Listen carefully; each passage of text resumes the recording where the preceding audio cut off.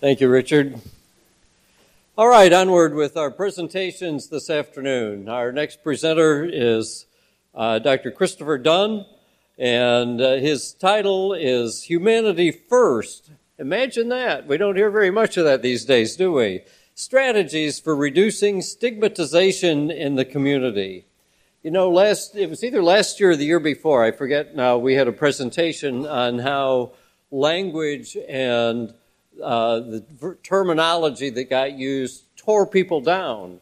And I think we're about to hear more about how we're going to build people up and bring about uh, some humanity in this dialogue.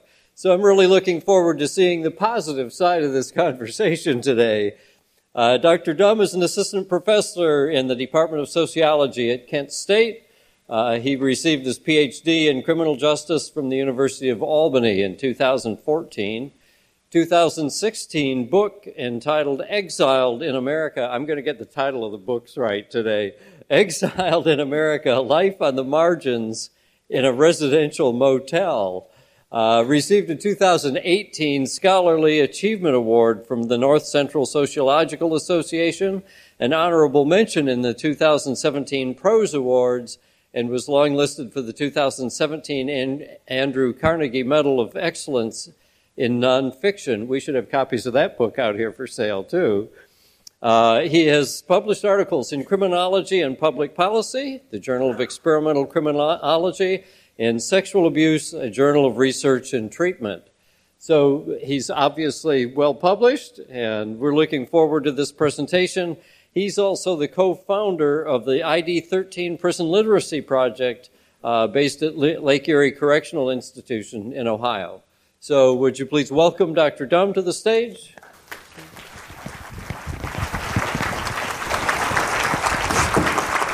Ooh, we're on now. Okay, perfect. Thank you so much for having me. I appreciate it. I'm really honored to be here to speak with you today. This is my first experience at an RSOL conference. Uh, so I just first want to commend you all for the work that you're doing. I know it's incredibly difficult considering the public attitudes that many people have toward registered citizens. And while I personally don't experience that stigma, I've grown quite familiar with it through my academic research. And as a scholar, my research really focuses on two things. One, trying to understand the lived experiences of registered citizens, and then two, trying to understand the public attitudes toward registered citizens. And so, after conducting this research and after reading a lot of it just based in my job, it sort of all comes back to this idea, right, of humanity first and using that idea to reduce stigmatization in the community. So, I got this awesome PowerPoint clicker here. Thank you for that. Uh oh. But did it work? I just jinxed it. The, the laser pointer works, but the click thing isn't working. Oh, there we go. Just kidding. Okay, sorry, the wrong one. It says up or down, and it's not clear as to which one. So, yeah. Does anyone know what this slide refers to? What is it? Yeah, so this is from the show Battlestar Galactica. I don't know if anyone's familiar with that. Um, it's a picture of a Cylon, and which is essentially like this humanoid robot. So in the show, the problem is that everyone thinks um, that these Cylons are actually human, but in fact they're these dangerous robots, right? And so I bring this up because sort of we have this opposite problem with people on the registry, right? We're talking about human beings, but everyone just thinks they're these dangerous people walking around in the community, right? And we're here today because we believe in encountering those ideas. And like so many people have already mentioned, a lot of combating stigmatization has to come down to stories, right? So this is my first NARSOL conference, but I constantly hear this theme of stories, right? Um, and people ask me, sort of, you know, how did you get to study sex offenders in the community, especially when they don't know a lot about uh, registered citizens? And what it comes down to is really sort of this desire just to hear more stories from people who've sort of been pushed to the margins of society. Um, and sort of this need to understand those stories is really what brought me here today. But I want to share briefly just some inspiration as to where that came from. Um, so, this is a photo of NPR reporter David Isay. And what he did in 1993, this is before iPhones, he gave tape recorders to uh, two 13 year old kids in Chicago. And basically, he told them, go about your daily lives and just talk into these tape recorders and tell me what's going on. Tell me what you're experiencing in your daily lives. And so they used over 200 hours of audio and they produced two NPR segments and then this award winning book called Our America Life and Death on the South Side of Chicago. I highly recommend it. It's a really in depth look at what it means to be growing up in housing projects. And so I read this book as a criminal justice student and it, it was fascinating. It, just, it made me ask myself, like, what other stories are waiting to be heard, right? And I was aware of many of the restrictions that were placed on registered citizens at the time, and I wanted to understand more about how that affected their day to day lives. I wanted to hear about these policies. I wanted to hear stories about how that was affecting people. Because if you think about if we are assessing laws and how they're impacting people, we need to know if they're working or not. We're only going to get that information, in a sense, from the people who are actually experiencing it. So in 2012, I set out to try to find registered citizens to, talk, citizens to talk to, to to understand their stories. And I didn't know of NARSOL at the time, so I apologize for not reaching out to any of you at that point. So what I did was I started looking on the registry to try to find people. My idea was other researchers have sent like postcards to people on the registry saying, hey, we're doing this study, would you like to participate?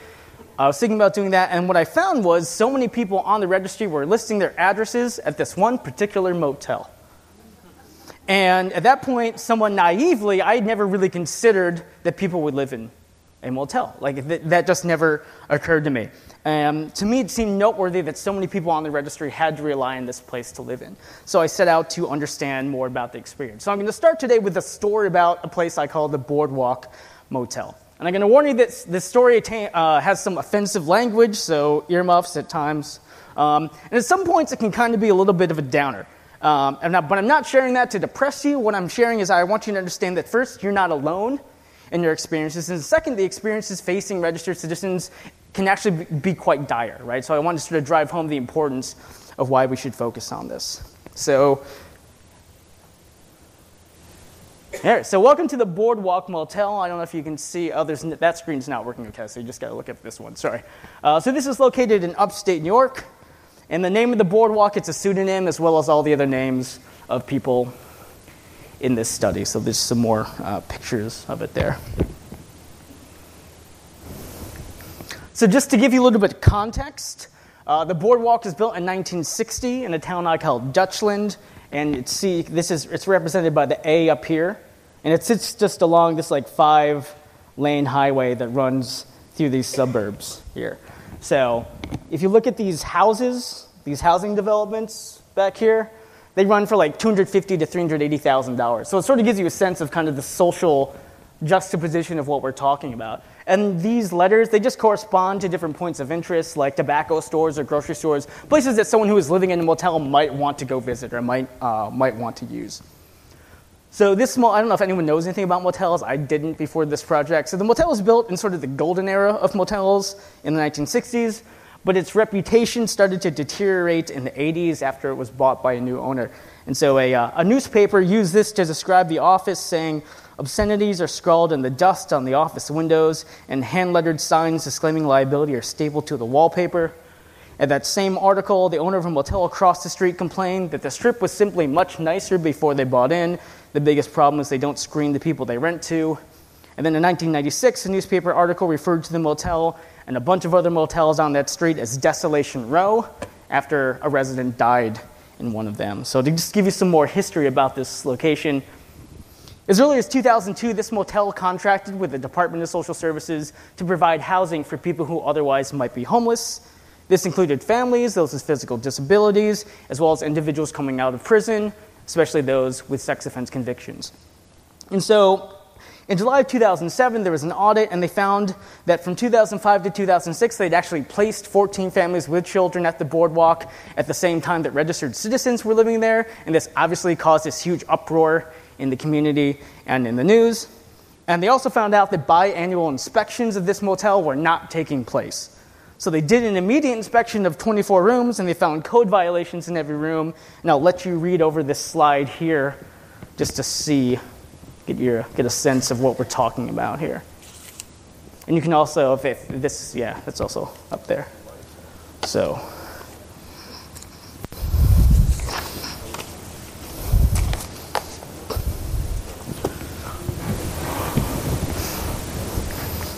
So after this investigation, DSS declared that they would no longer send families with children to the motel, but they'd still send other homeless individuals there.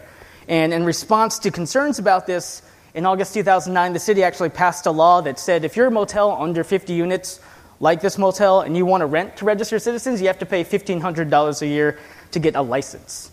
And they actually said that if you choose to house people in this motel, you actually can't accumulate more risk points than six. So think about like two level threes, three level twos, anything like that. You couldn't go over that mandated number. Um, so, two months later, after this law passed, there were 20 fewer registered citizens within the town. Within four months after this law passed, only two motels, including this one, had applied for the license. And then by 2010, this is the only motel in town that actually had this license that could rent to registered citizens. And this motel received $45 a day from DSS for each registered citizen who was housed there. So obviously, because of this, many citizens in this town were voicing concerns that they felt their children couldn't go out to play, and that they didn't feel safe. I attended one town meeting, and this elderly resident said that she thought her tax dollars shouldn't have to go for paying, uh, like when police and fire departments and EMTs would respond to the motel. So, and what we see is like obviously we've talked about legislation and things, so we know that essentially what necessitates the need for the motel as a housing option is all these numerous federal, state, and local laws that are designed to reduce recidivism by restricting housing options, right? And we know that research has found numerous problems with these laws, including that information on registries is incorrect, and that simply that residence restrictions just don't have any effect on recidivism. So, but despite overwhelming public policy support and sort of the best intentions of lawmakers, the research basically says these policies fail to do anything. They fail to improve public safety. And instead, criminal, excuse me, crimin- criminologists argue that these laws essentially hinder successful reentry into the community, right? That's essentially the, the end takeaway. So, but despite this, when I began my research in 2012, there really had been no studies looking at the experiences of what it was like to have to live in a situation like this. So, there have been studies interviewing people and doing surveys with registered citizens about their experiences, but no one had really sort of done this in depth examination of day to day life at this place. And that was what I was really interested in too. And just so, sort of for context, because this doesn't exist in a vacuum, using motels and hotels as shelter for homeless individuals is a widespread practice. Uh, if you can consider some statistics, Massachusetts spent $48 million in 2013 to house nearly 2,000 families in motels. That same year, Portland, Maine placed families in hotels for 198 nights. That's an increase of 191% from the year before. In July 2016, 4,000 homeless New York City residents slept in 46 different motels. In the previous year, the city only relied on eight locations. So we have this huge increase of people needing housing. There's a Holiday Inn Express, uh, a Holiday Inn Express in Queens, and the number of homeless people living in that is actually 30 to 40 percent of the building's capacity. So basically, to drive home the point that a lot of people have to rely on motels and hotels for shelter because of housing instability. So not just registered citizens, but what we see is these situations, these locations, then throw registered citizens and non-registered citizens who are all experiencing homeless together, right? And that's sort of this interesting phenomenon.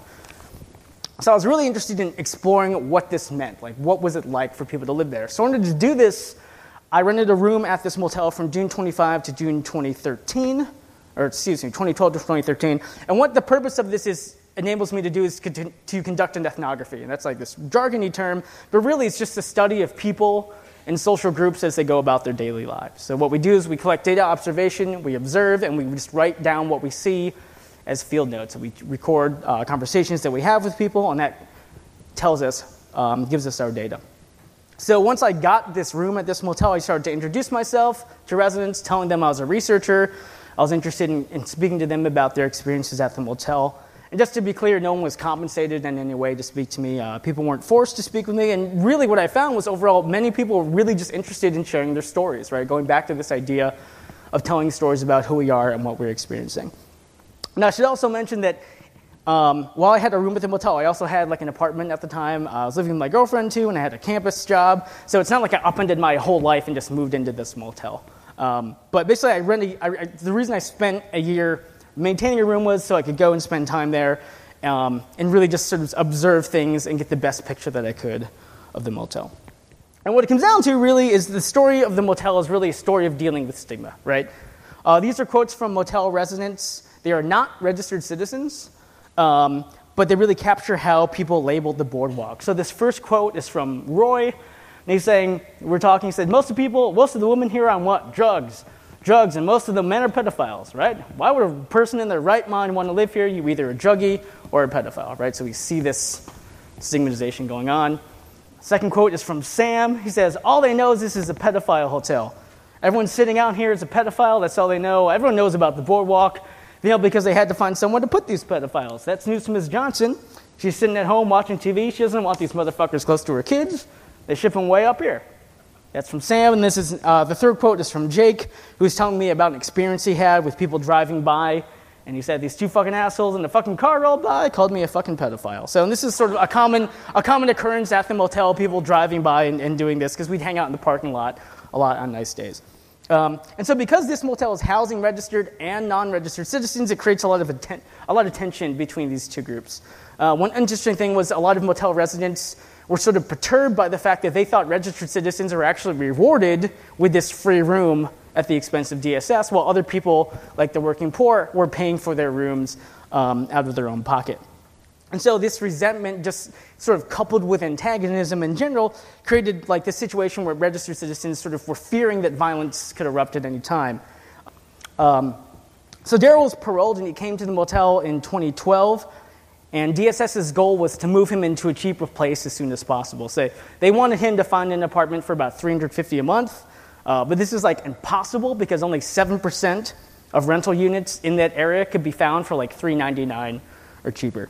Uh, so in January 2013, his PO moved into another motel, and he hated this because he had to share a room with other people. And he told me, "I'm not good with this. You know, I'm not good with living with other people. I freak out."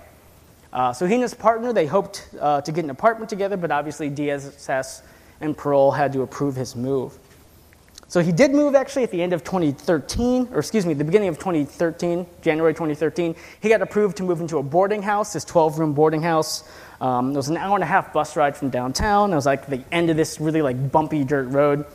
And when I got there to visit him, he told me this is like slum city. And on each of my visits, these same two guys would be sitting in the living room, like huddled under this blanket, watching TV with the lights off.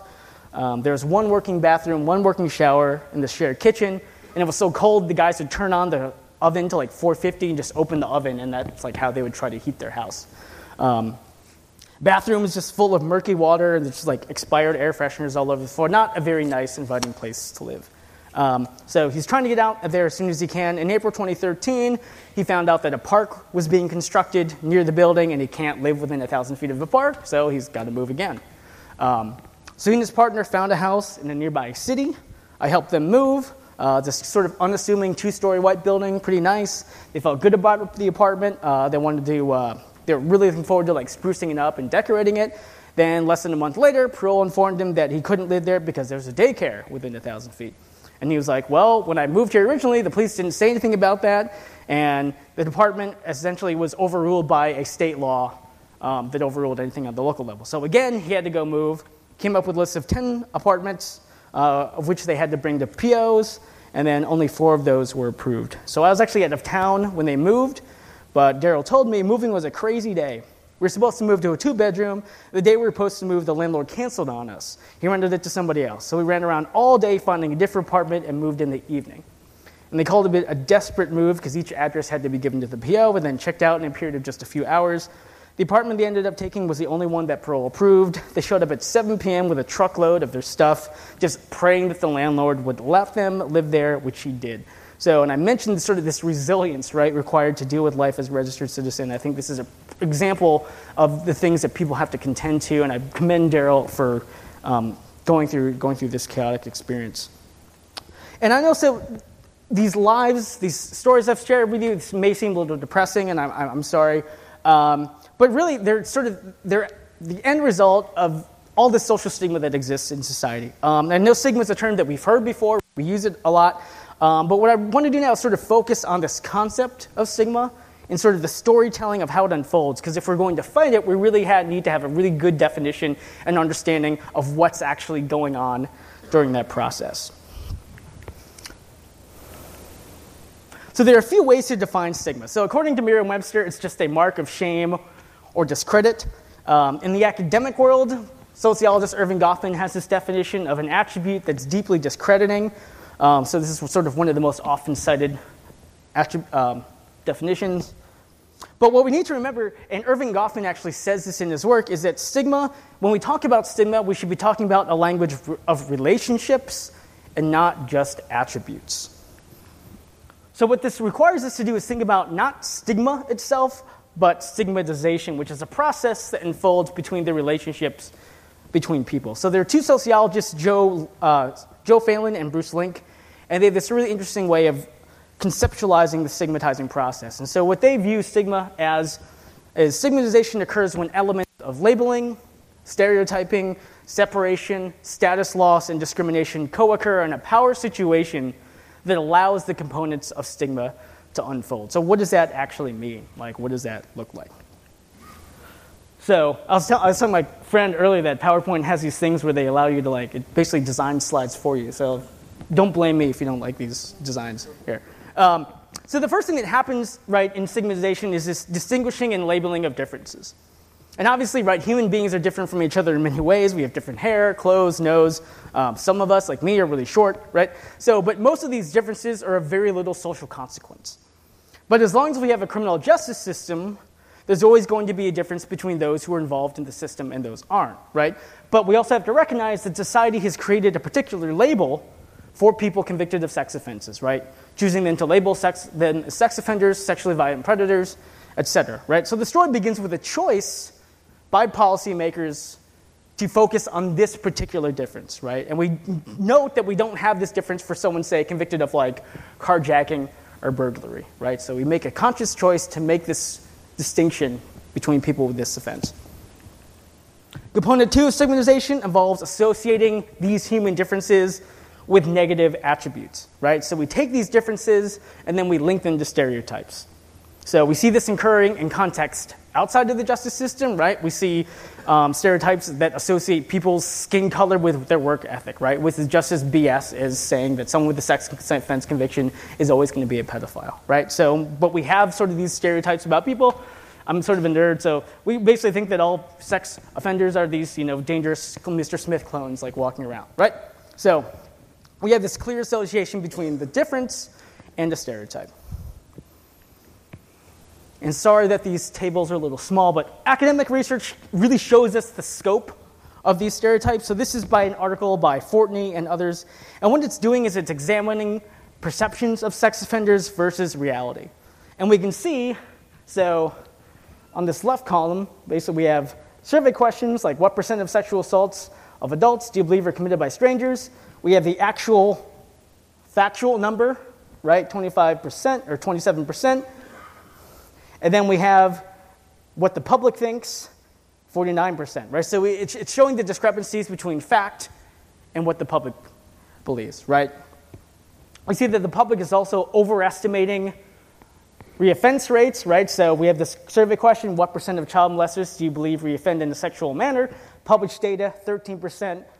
The public says 76%, right? So just huge discrepancies in what people think versus reality. The interesting thing about the study is that it actually also interviewed registered citizens about their opinions. And we find that in some instances, like stranger danger and things like that, the offense, the offender's beliefs are actually more in line with the data. But even for things like um, percent of offenders that you think are abused as children, even people on the registry have a pretty high inaccurate estimate of actual fact um, there. And this is just another table from that, just comparing the results. So basically, the beliefs from people who are on the registry compared to the beliefs of people in the public. And we can see in every single instance, the public is actually overestimating compared to the people on the registry in terms of what they think is occurring. So the third thing that happens stigmatization process is this creation of us and them, right? The simple process of creating in groups and out groups. We can see this happening all over the places in contexts other than sexual offense convictions. And what happens is, and Link and Phelan warned us of this, is when labeled persons are believed to be distinctly different, stereotyping can be smoothly accomplished because there's little harm in contributing all manner of bad characteristics to them. So, in, in, the extreme, the stigmatized person is basically thought is to be so different from us that they can't actually be human right? And then in that extreme, all manner of treatment becomes possible against that person, right? And what we see in society, right, is them becomes something to be feared, right? Where there's apps you can download to find them and you warn your kids about them. And we sadly have seen cases of vigilante justice, right? Um, people thinking that people on the sex offense registry are not deserving of compassion and more deserving of anger and violence and hatred, right? So the fourth component of stigmatization involves status loss and discrimination. So stigmatized groups are disadvantaged when it, when it comes to a general profile. This is all stigmatized groups are disadvantaged when it comes to a general profile of life chances like income, education, psychological well-being, housing status, medical treatment, and health. We can see this obviously probably in your own lives. And as a result, stigmatized persons may avoid potentially threatening contact altogether, right? So this results in strained and uncomfortable social interactions with potential stigmatizers. You saw that at the motel more constricted social networks. I'm sure you've experienced this a compromised quality of life, low self esteem, depressive symptoms, right? We had a workshop here talking about self care and how to deal with feelings um, that's come from being on the registry, unemployment, income loss. So, um, one example, uh, an example from uh, the findings of Rolfe, uh, Shawn Rolfe, who's actually here, um, doing a study of homeless shelters surveying 50 homeless shelters, or excuse me, 57 homeless shelters for single men, and finding that only 16 accept registered citizens, right? So 71% did not. So a classic example of status loss discrimination. So how this stigma is affecting people, exacerbating housing instability.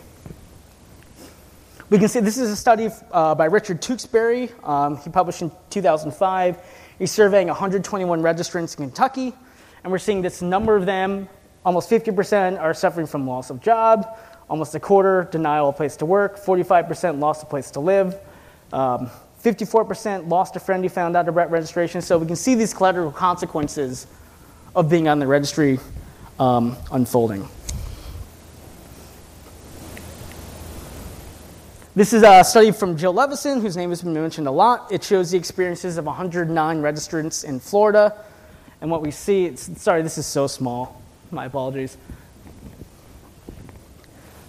But like 66% are suffering financially from residence restrictions, 73% suffering emotionally, 57% say they have to live further from unemployment opportunities. So basically, just documenting the huge litany of the cascade sort of negative consequences that people experience from being on the registry, right? Being subject to laws that, as I said earlier, that we know don't work. And sort of to drive this point home of sort of this cascade of effects, I want to go back really quickly to the Boardwalk Motel. So, this is a picture of this is a room I rented. Um, there's a water leak, and water was just like pouring in from under the shower. Over here, you can see it on the floor. So, I was gone for a few days for a conference. I came back in, and it smelled like something had died.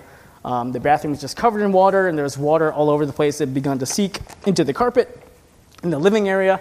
And the maintenance people took the toilet off the pipe to try to figure out what was wrong, um, and eventually stopped.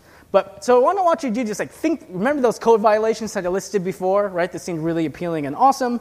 Um, just sort of think about what those conditions and the message that sense to people who have to live there, right? This motel, if you were paying out of pocket to live in this motel, you'd be spending $820 a month. And these rooms don't guarantee heat, they don't guarantee air conditioning, a kitchen, a phone, smoke detectors, drinkable water, right? So people would tell me on several occasions, like, nobody here gives a shit, which implicitly says nobody here gives a shit about us, right? If you read between the lines. Other people would tell me, like, people can't live like this, they just can't live like this. But then I would talk to the day manager, Elizabeth, who would say, You're only getting guys from social services, they don't give a shit. So, recognizing this sort of status loss situation, a lot of residents at the motel actually fantasized about shutting it down.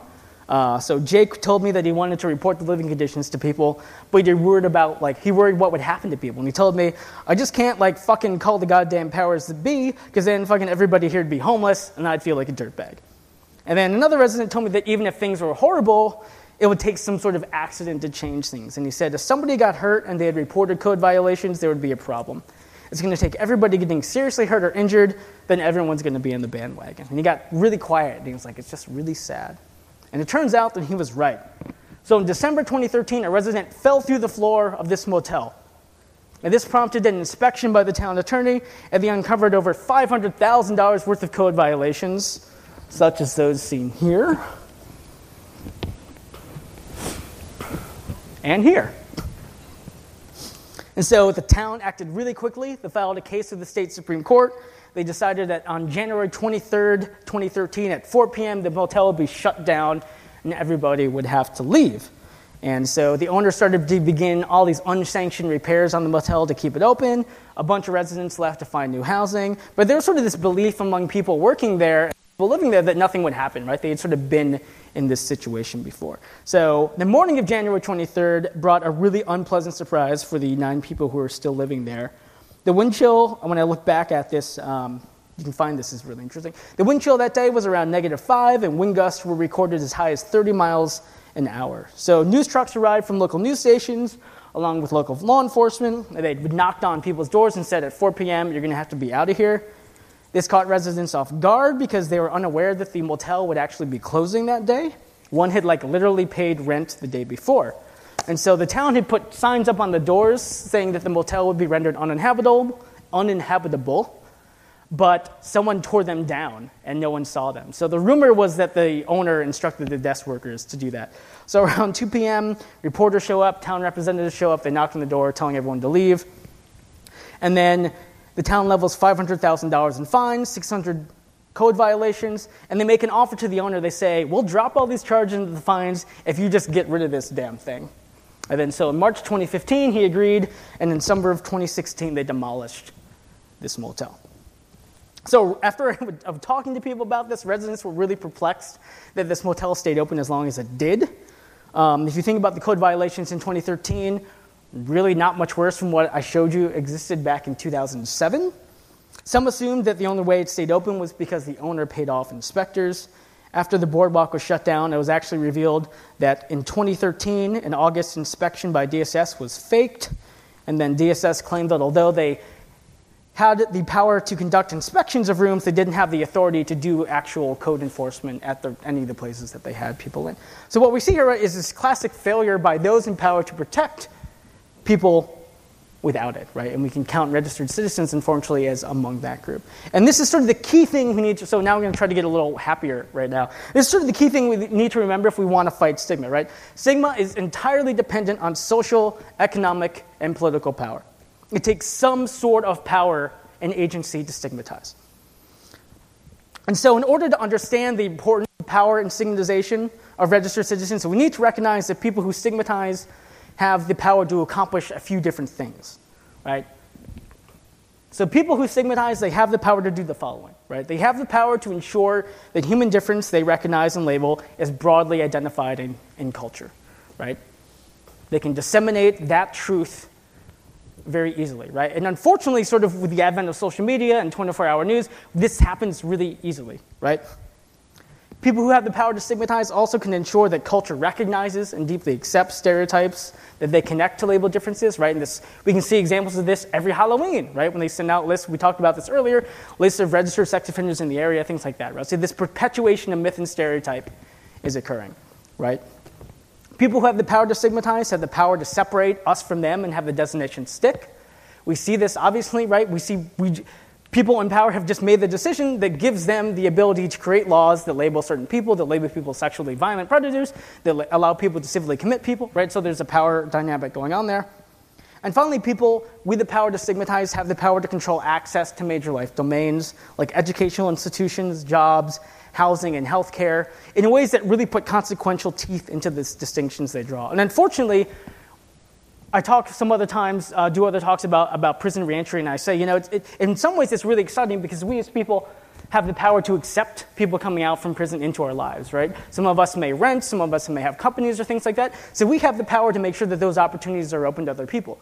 But unfortunately, that means that anyone else who does those things has the power to stigmatize and prevent people from doing that, right? So if we think about stigmatization, we think about the power dynamics. This is what is required in order to stigmatize. And unfortunately, as you can see here, some of it is relatively easy to do. Right, so, okay, well, like, what can we do about this? This is sort of the, the title of the presentation. So Link and Phelan started to have this idea that we need to consider two principles, right? Whatever approach we take to reducing stigmatization has to be multifaceted and, and multi-level, right? It's going to take a lot of different things um, happening in a lot of different areas, right? We need to address the multiple mechanisms that lead to disadvantaged outcomes. And we have to be multi level because there are different issues of individual discrimination, as well as structural discrimination. And whatever approach we use, right, it has to really change the deeply held beliefs of powerful groups. It has to change these beliefs that lead to stereotyping and labeling and setting apart. Or it must change the circumstances so as to limit the power of those groups to make their cognitions the dominant ones. Right? So we either have to take these groups, the people in power, and change how they think, or if we can't do that, we need to limit the power that they have to make those thoughts the dominant narrative in society. So, final nerd slide here. It's going to take a lot of different ideas using people with different strengths and abilities, so sort of like the Avenger thing. And the best part, really, actually, about what I'm going to say is that a lot of this is actually already going on in NARSOL, which is really exciting. I actually had to modify this a little bit the other day because, as I said, this is my first NARSOL conference, and I saw this stuff, and it's like, oh wow, I'm just reading through your brochures, and this is like already stuff that's going on here. So I just want to say, like, please don't give up hope, right? You're on the you're on the right track. Right. So the, just first, like the idea, right? Replacing myth with fact whenever possible, right? Even residents of the motel knew that these myths were incorrect, right? So this is Jake, and he's saying that's one thing you got to realize in your book too. Just because somebody's a sex offender doesn't make him a fucking child molester. It just means they fucking committed a sex crime, which is essentially the most clear definition we could have, right? What is it? What is a sex offender? Oh, it just means you committed. That's that's all it is. It's that's that's what it is. So, um, so yeah. So uh, one, focusing on on empirical research, right? We need we need facts. Um, we need to demand the use of those facts whenever possible in news reporting about NARSOL related issues. When we see these in everyday life, um, actually. Um, the other day, I was talking to someone um, about this conference I was going to, and they were like, "Oh yeah, well that's so important considering like the really high recidivism rates." And I'm like, "Well, actually, you know, it's when you consider it, it's it's not right." So we need to be brave enough to sort of call people out whenever that um, situation arises, and really, obviously, going beyond ourselves. Someone mentioned earlier that sort of we're kind of preaching to the choir in a sense, right? So we need to make sure those these messages and um, and sort of and that activity goes outside of the choir. However I will say that there are challenges to confronting myths simply because the public is actually really resistant to scientific research regarding sex crimes. Um, so, this is a table from a study that some colleagues and I ran, and I'm going to try to distill this down into non boring stuff. So, basically, what we did is we randomly assigned people to read a text vignette. And basically, what that vignette did was varied the information that a person received about residence restrictions as well as the source of information. So basically, the person who was taking our survey would get a vignette that would either tell them how residence restrictions create collateral consequences, or the vignette would tell them um, that they don't work, that they don't reduce crime, right? So either they see that they don't work, or they see that they do bad things to people on the registry. And what we also did too is we modify who's giving that message. So in one scenario, they're getting that from like a sheriff, and then the other, they're reading like a new, uh, like a, a, a report from um, like someone like me, like an academic person. And unfortunately, what we found is that regardless of the message and regardless of the messenger, it doesn't really matter. So this is the support for residence restrictions, and these are all the diff- there's four different conditions. You can see there's basically no difference in those. So people just don't really seem to be too moved by these um, these things. So we need to really sort of be aware that, in, this, in a sense, there's a public resistance to scientific fact regarding sex offense convictions just because of the emotion tied to this. And in a way, I think we should be aware sort of of the growing resistance to scientific fact in this country as a whole. And I think we can see this sort of in skepticism of climate change and GMOs and vaccinations and things like that. So part of this idea of challenging myths is really to try to move this country towards back towards a country where people are actually accepting of scientific evidence, right? If our society is one that believes in science and scientific fact and evidence instead of sensationalism and emotion, right, that sets the stage better for an organization like NARSOL to succeed. And step two, sort of this right humanity first idea, and this is really the key, right? Is humanization humanity first, right? We realize that stigmatization creates us versus them. The goal of stigmatization is to make the them seem not human, right? So we need to sort of, how do we boost that back? And thankfully, this is something we've seen emphasized over and over in this, in this conference, is sort of this idea of humanity and humanizing. One thing we talk about is person first language, right? So this is a table uh, from a study by Harris and Socia and looks about the language used to talk about sex crimes. So basically, they surveyed people and they gave them samples um, of different, uh, excuse me, of different policies. So basically, they would say um, the identity of all people who have been convicted of sexual, oh, the identity of all people who have committed crimes of a sexual nature should be made available to the general public on the internet. Or you would see the identity of all sex offenders should be made available to the general public on the internet, right? So basically, one group sees things with very person first language, the other sees the stereotypical sex offender language. And what we find is that people who see the person first language have less support for these policies, right? So by using person first language, we can decrease support for policies that restrict people with sex offense convictions. So, right, just a clear example of how this can be effective, right? So you'll notice I'm using the term registered citizen. You probably do that in your own lives as well, right? Just give you some hope that this is not a sort of something that we just throw to the wind and pray works. Studies show that this actually does change people's attitudes, right? So we should keep doing this and keep focusing on it and ensure that other people do this as well. so this is just an, uh, the final table um, for this. And we, what we're seeing is that there are differences between experimental conditions and the control conditions. So the experimental condition is always a higher number, meaning that those who saw that, meaning who saw the sex offender language, are always more supportive of these policies. So basically, focus on person first language. It does really make a difference in people's attitudes. And another thing we can focus on to reduce stigmatization is understanding the relationship between people's attitudes and contact and familiarity. So uh, we do a lot of research about attitudes that predict, or about um, excuse me, factors that predict attitudes towards certain groups.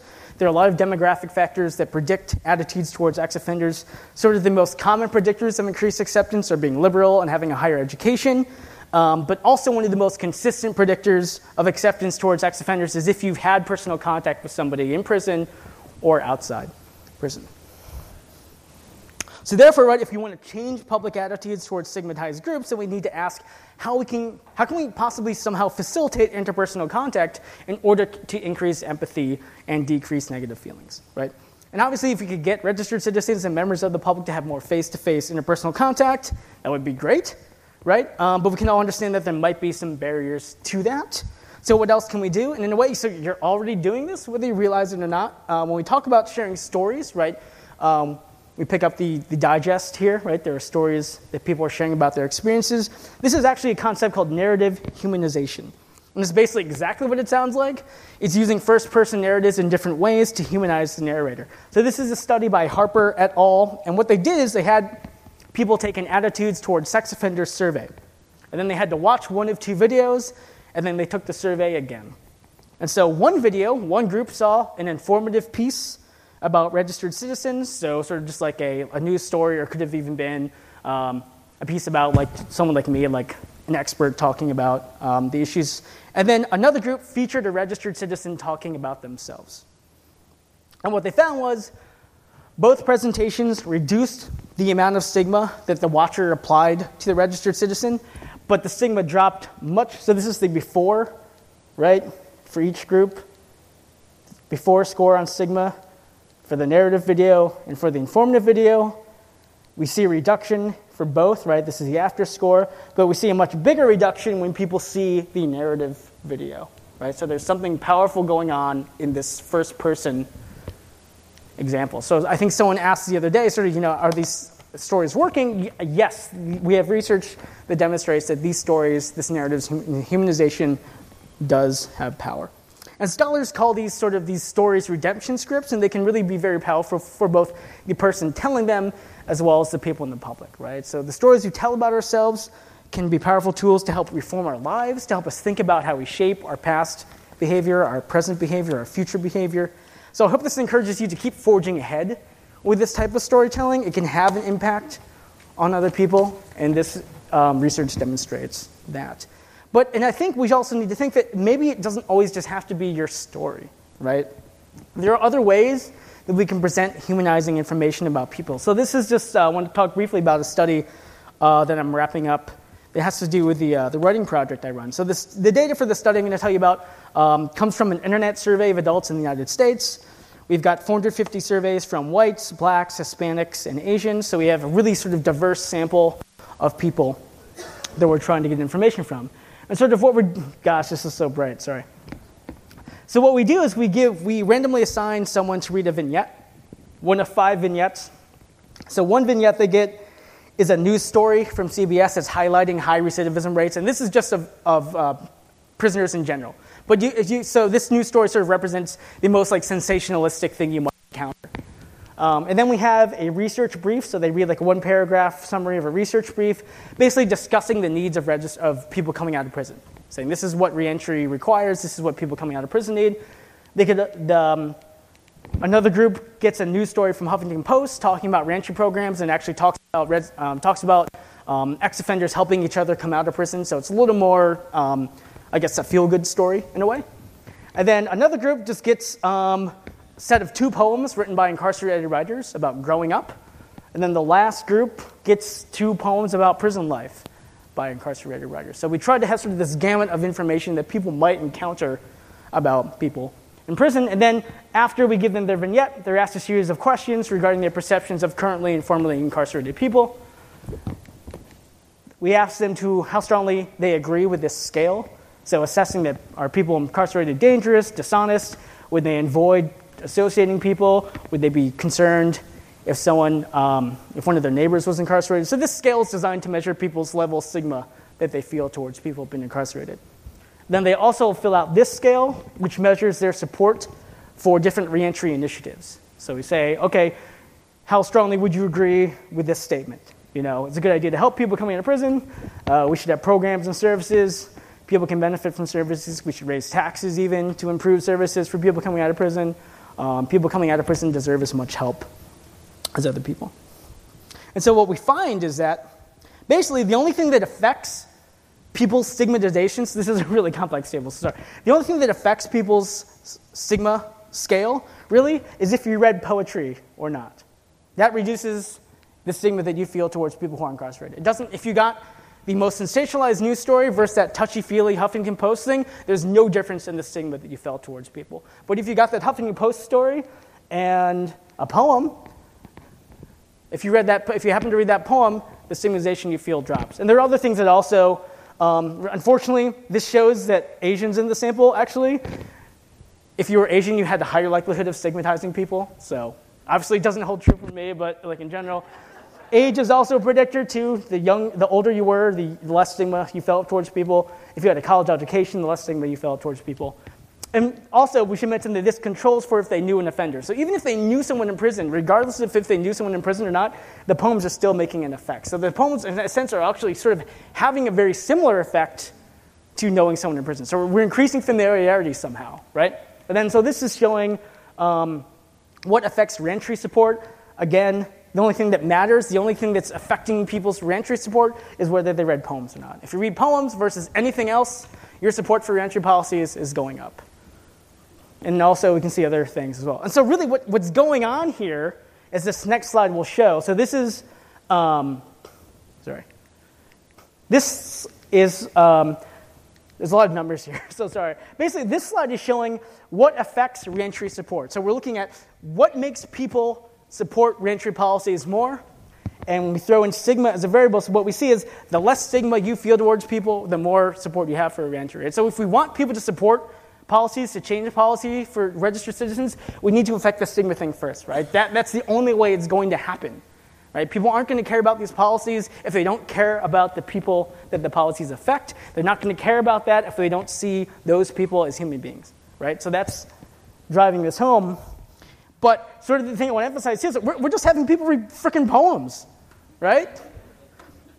So you don't maybe necessarily have to tell your stories, right? Maybe there's other things that we can do that we can involve people in that show their humanity, right? That create some sort of positive identity, positive association, right? That maybe doesn't have to be exactly um, sharing your story. So I just sort of want to leave you with this like three goals of reducing humanization, or sorry, excuse me, three goals of increasing humanization, right? So one, oh my gosh, uh, that's okay, yeah, okay. So increasing opportunities for registered citizens to present narratives, to present humanizing narratives about their experiences, right? I've shown you the research that shows that that does work, right? So we need to focus on increasing those opportunities.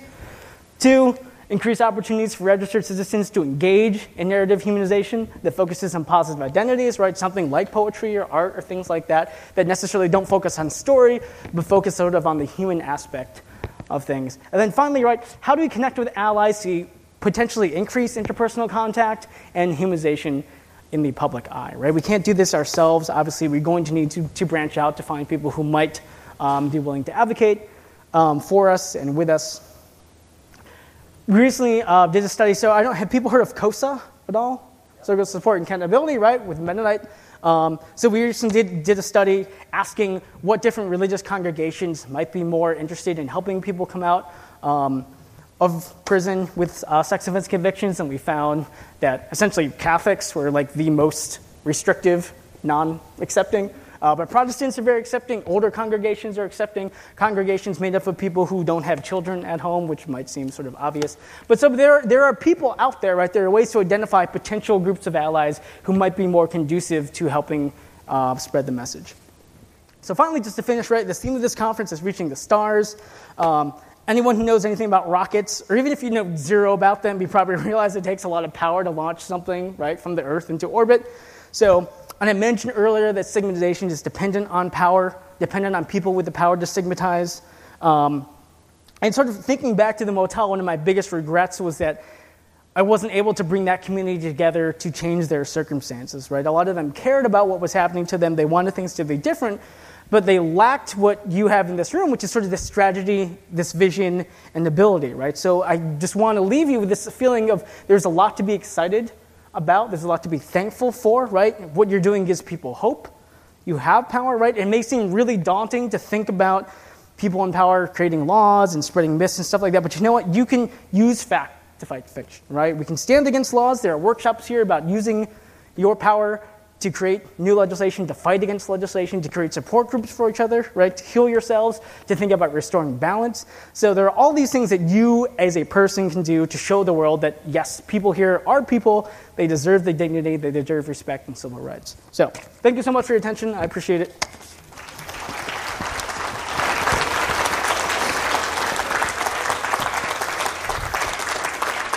Are you doing questions at all? Oh, okay.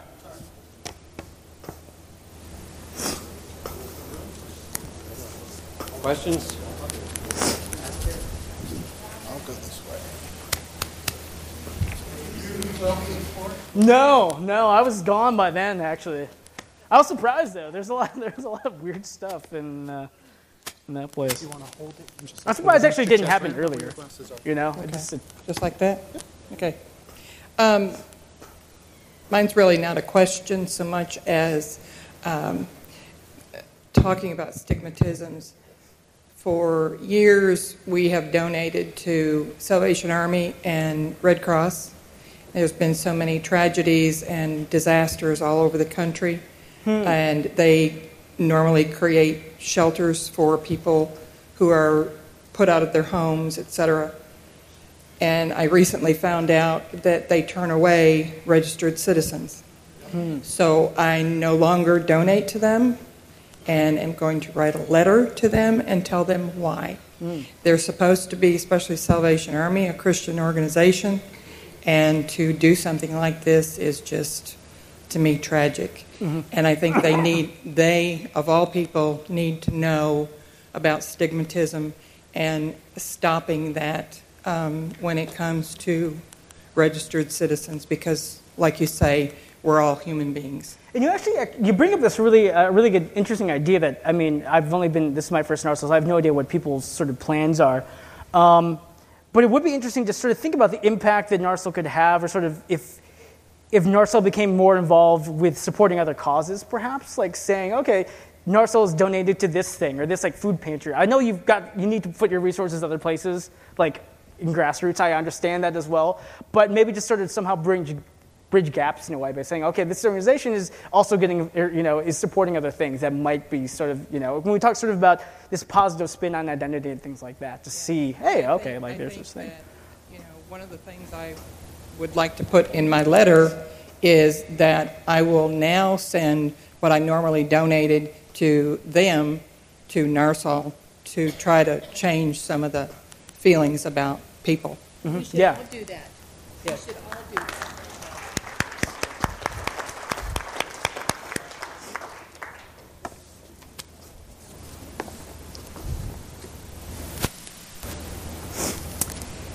Susan Walker from Denver. Um, we also have a Salvation Army, uh, it's called Crossroads Shelter in Denver, and uh, they do accept people who have committed a sexual offense uh, into the shelter. And I think one way that that got started, which is something we might be able to maneuver some other Salvation Army shelters into doing, is that uh, the, the parole and probation departments utilize both the Denver Rescue Mission and the Salvation Army Crossroads Shelter to house certain numbers of parole and probation folks uh, in their shelter, and they get paid for that. So um, I'm not sure if that's the reason why. Uh, I know that Crossroads has taken uh, our our folks for many many years. Uh, and so I'm not sure if that's the reason why, but I do know that they've had that long-standing relationship uh, with both of those shelters. So,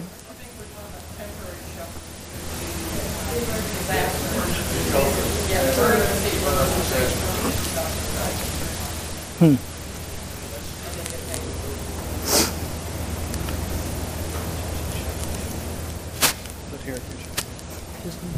Uh, Pat from Arizona. Um, thank you for doing all these studies. Like I didn't do all of them. I did like two. So, well, but I just had to read all the of them. studies that you've done, and I'm interested in knowing, um, as I um, meet with my legislators, is if there's a particular study that you would suggest that I give to them. Um, there, there's an issue in criminology. Uh, criminology and public policy is one of the leading journals uh, in in the field, and they did. Um, and unfortunately, you might be behind a paywall from this. So if you if you want to talk to me afterwards and exchange emails, I can try to get you the article. There's an article that came out that's basically like sex offense restrictions, blah blah blah, are ineffective, something something something, and they don't work, right? So what now? And that was sort of the, the, the gist of it, and that really sort of summed up sort of the, the state of the field on, on showing why um, these why these these study or why these um, these policies don't have any effect. Um, I mean, so there are a number of them, but I think that would be a pretty a pretty good one. It's writ that journal is specifically designed to influence public policy, so it's written in a way that sort of you know provides these summaries for people. So if you'd like to talk later, then we can I can get that. The journal's Criminology and Public Policy. Um, but unfortunately, because it's an academic journal, you might not be. You, if you were just to go do it through like your own Google, you'd have to pay like 30 bucks an article or something like that. But there are ways, um, if you know people in academia who have access to academic journals through libraries or something like that, they could grab that article for you.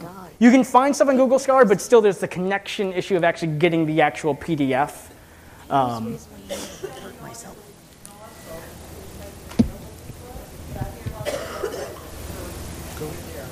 there might be some copyright issues widespread like that.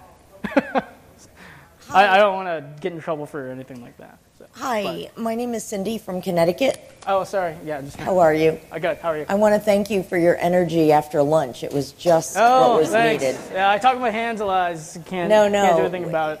Totally necessary. Thank you.